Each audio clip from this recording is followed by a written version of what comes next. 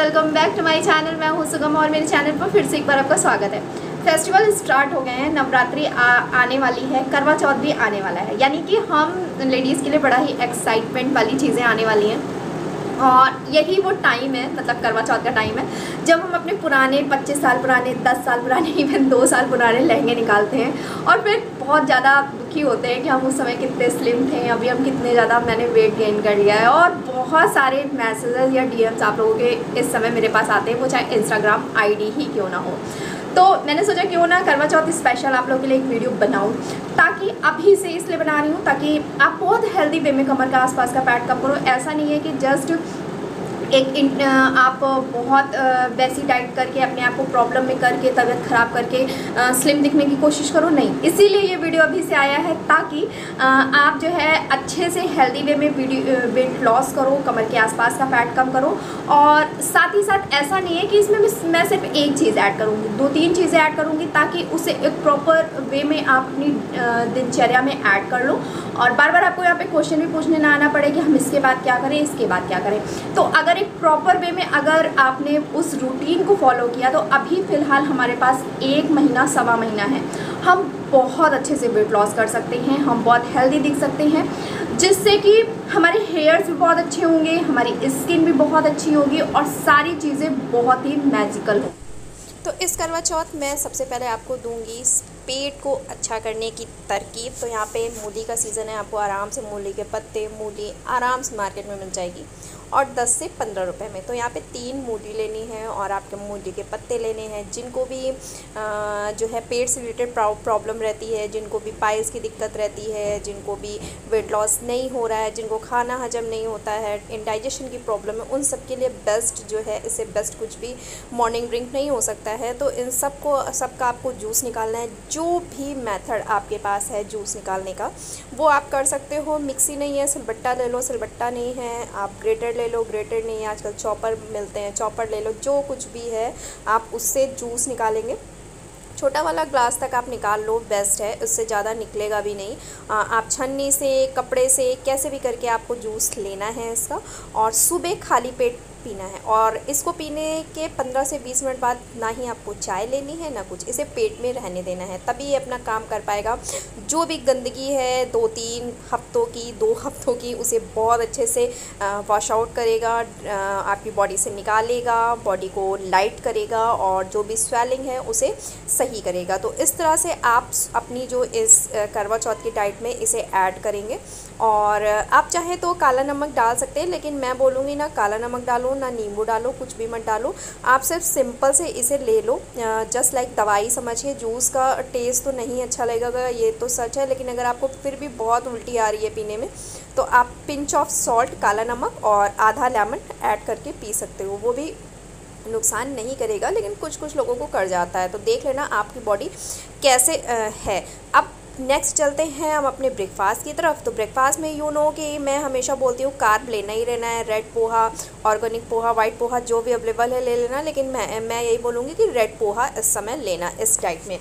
One कटोरी आपको पोहा लेना है। वन कटोरी आपको सेम कटोरी क्वांटिटी में आपको जो है गाजर लेनी है, प्याज लेना है, टमाटर लेना है, शिमला मिर्च लेना है, जो जो जो सब्ज़ियाँ अवेलेबल हैं वो लेना है। यानी मेन कोर्स जो है वो हमें वन कटोरी लेना और सारी चीज़ें फाइव कटोरी लेनी है। यहाँ पे कोकोनट ऑयल लूँगी और इस समय कोकोनट ऑयल ही यूज़ करिए। अगर आपके यहाँ ठंड है तो आप ऑलिव ऑयल यूज़ करना, ज़्यादा बेस्ट रहेगा बिकॉज़ कोकोनट ऑयल आपको ठंड दे जाएगा। उसके बाद हींग, जीरे से तड़का लगाऊँगी, प्याज डालूँगी प्याज को थोड़ा सा सोटे करूँगी और आप देख सकते हैं ना मेन पोर्शन को मैंने कम रखा है और सब्जियों को ज़्यादा रखा है बिकॉज़ इस पूरी डाइट में पेट को ही हमें काफ़ी अच्छा रखना है। अगर पेट अच्छा रखेंगे तो उस बाकी चीज़ें बहुत अच्छी रहेंगी। सारी सब्जियों को अच्छे से भून लूँगी। फ़िलहाल मैं यही बताऊँ लास्ट में जब मैं खाने बैठी थी तो मैं भूल गई थी कि मैंने टमाटर इसमें ऐड ही नहीं किया है। उसके बाद चिली फ्लेक्स नमक, मिर्च जो जो मसाले, चाट मसाला ऑर्गिनो जो जो खाते हो ना, वो सारी चीज़ें अच्छे से डाल देना और इस सब्ज़ी को जस्ट रोटी के साथ भी खा सकते हो, दो बाजरे की रोटी ले लो, वो भी एक नेक्स्ट नेक्स्ट ऑप्शन में आप रख सकते हो। उसके बाद हम मैं लूँगी पोहा और इसे अच्छे से मिक्स कर लूँ उसके बाद थोड़ा सा सॉल्ट डालूँगी, कोशिश करना सीधा नमक इस समय आप खाना और अलसी के दाने ऐड करूँगी। अलसी के दाने ज़रूर ऐड करना इस पूरी डाइट में बिकॉज़ वही एक मेन है जो आपकी स्किन के ग्लो को और आपकी ब्यूटी में मेन जो है हेल्प करेगा। तो यहाँ पे अभी आप सोच रहे हो बहुत ड्राई होगा तो ड्राई नहीं होगा। उन लोगों के लिए भी मैंने स्पेशल ध्यान दिया है। मैं लूँगी दही दही नॉर्मल दही बड़े वाला भी आप दही जैसे बनाते हो, वो ले सकते हो। तो ये आपका हो जाएगा ब्रेकफास्ट में वेजिटेबल पोहा। नेक्स्ट अब मैं बढ़ती हूँ लंच की तरफ़। लंच में भी मैंने विशेष कर जो है सब्जियों को ऐड किया हुआ है। और पर्सनली मुझे यह बहुत यम लगती है। दोपहर में मैंने लिया है सरसों का तेल। आप सरसों का तेल भी खा सकते हो, लेकिन हाँ रिफाइंड ऑयल नहीं खाना है, ये ध्यान रखना है। इसके बाद मैंने टू टेबल स्पून तक यहाँ पे जो है सरसों का तेल लिया अगेन मैं तड़का लगाऊँगी। जैसे भी आप खाना राई से, जीरे से, जैसा मुझे, जैसे जीरा और हींग का तड़का काफ़ी पसंद है, उसके बाद मैं इसमें डालूँगी प्याज। जैसे मैंने बोला, मैं सब्जियों का बहुत इस्तेमाल करने वाली हूँ इस डाइट में बिकॉज़ मुझे आपके पेट का पूरी तरह से ध्यान रखना है। थोड़ा सा नमक डाल दूँगी बिकॉज़ नमक तेल कम रखा है तो मॉइस्चर का भी हमें अच्छे से ध्यान रखना है तो आप देख सकते हैं। और प्याज को थोड़ा सा रंग चेंज होने तक भूनूँगी। उसके बाद जितनी भी जो वेजिटेबल्स मैंने सुबह यूज़ की थी उसी सेम वेजिटेबल्स को मैंने चॉपर में चॉप कर लिया है।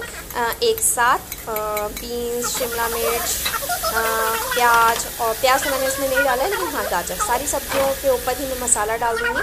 और जैसे कि हल्दी, धनिया, अगर मिर्च खाते हो तो मिर्च और नमक नमक बिकॉज़ नमक इसी जगह में डाल दूँगी। मुझे मॉइस्चर इसमें डालना है मॉइस्चर नहीं डालूँगी तो मसाले पकेंगे नहीं। और उसके बाद बहुत लो फ्लेम पर इसे धीरे से पका लूँगी अच्छे से मॉइस्चर टूटने तक। यहाँ पर जब हम हमारा जो ये बन के रेडी होगा, उस समय मैं इसमें डालूँगी दही ताकि एक अच्छे से सौंधा बनाए ऐसे खाने में और यहाँ पे हमारी सब्जियों में जो है एक तरह का टेक्सचर भी मिले। साथ ही साथ अब मैं डालूँगी इसमें मखाने, मुश्किल से मैं अंदाजन आपको बताऊँ, एक कटोरी और इसके बाद मैं डालूँगी लगभग एक कप पानी बिकॉज़ मखाने जो हैं वो पानी को सोखते हैं और इसे टेन टेन मिनट तक मैंने लो फ्लेम पे पकाया और यहाँ पे हमारा लंच बन के रेडी है, जो कि बहुत ही यम्मी था।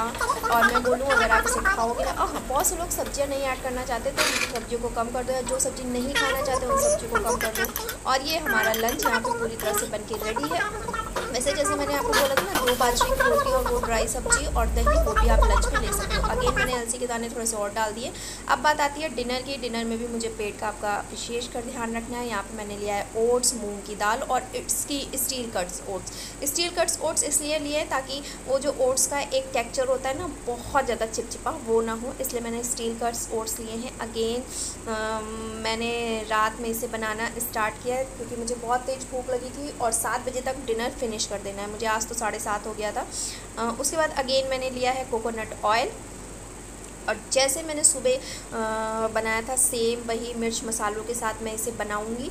लेकिन इस टाइम मैं सब्जियों का यूज़ नहीं करूँगी बिकॉज़ मैंने इनफ सब्ज़ियाँ खा ली हैं सुबह और इस समय मैंने जो बिकॉज़ सुबह मैंने जो लिया था फाइबर पोर्शन में वो सब्ज़ियाँ ली थी इस समय मैं फाइबर पोर्शन में लूँगी वो लूँगी मैं मूँग की दाल और ओट्स उसमें इनफ क्वांटिटी में हमारा जो है फ़ाइबर है और फाइबर ही एक ऐसी चीज़ है जो हमारे कमर के आसपास के फ़ैट को कम करेगा। और स्पेशली मैंने बोला कि मैं कमर के आसपास के फ़ैट की कम करने को डाइट दे रही हूँ तो इसीलिए मैंने इसमें विशेष कर जो है फ़ाइबर ऐड किया है ताकि बहुत अच्छे से कट डाउन हो आपका फ़ैट और यहाँ पे हमारा प्याज, टमाटर मतलब अच्छे से हो गया है।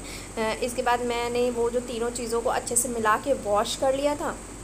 अब इसमें डाल के मैं मुश्किल से इसको भी पकने, दाल ही पकने में जो टाइम लगे लगे, वरना ओट्स पकने में टाइम नहीं लगता। आप सीटी भी लगा सकते हैं, लेकिन मुझे पैन में भी बनाने में फ़िफ्टीन मिनट लगा था।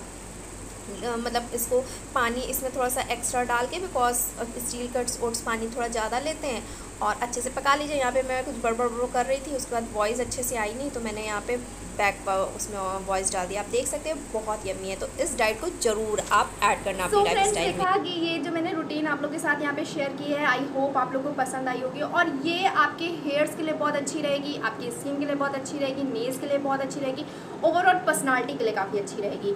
तो ट्राई ज़रूर करना जैसा इफ़ेक्ट हो मेरे साथ ज़रूर शेयर करना वो चाहे फेसबुक पेज हो वो चाहे मेरा इंस्टाग्राम पेज हो और यूट्यूब पे तो शेयर कर ही देना।